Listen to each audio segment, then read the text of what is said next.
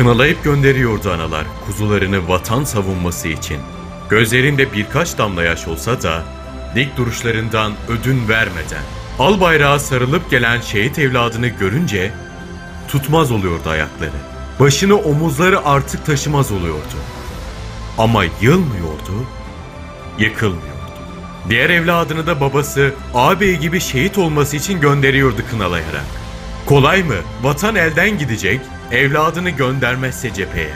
Şehit haberleri geldiğinde anaların yürekleri dağlanıyor.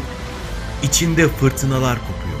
Ama bir öf demiyor, biliyor ki kutlu davaya hizmet için gönderdi evladını, kınalı kuzusunu, kınalı Mehmet'ini. Tarih 3 Kasım 1914'ü gösteriyordu. Düşman Türk topraklarını ele geçirmek için topyekün saldırıyordu. Yer Çanakkale. Anaları kınalamış yavrularını göndermişti cepheye.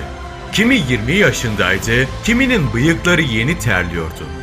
Kimi 13 yaşındaydı, savaşı sadece arkadaşlarıyla yaptığı oyunlar sanıyordu. Ama hepsinin yüreği vatan diye atıyordu. Dillerde Allahu Ekber, göğüslerde imanla savundular vatan topraklarını.